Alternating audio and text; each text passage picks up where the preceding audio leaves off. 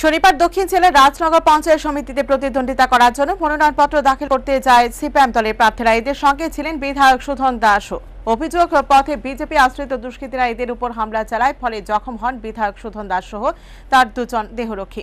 এছাড়াও পার্টির জেলা কমিটির সদস্য অরূপ মজুমদার, মহকুমা কমিটির সদস্য ভজন দাস ও আরও কয়েকজন কর্মীও রক্তাক্ত জখম হয়। এছাড়া পার্টির অন্য একজন সদস্য সুব্রত দাসকে দুষ- দুষ্কৃতিকারীরা অপহরণ করে নিয়ে যায় বলে অভিযোগ।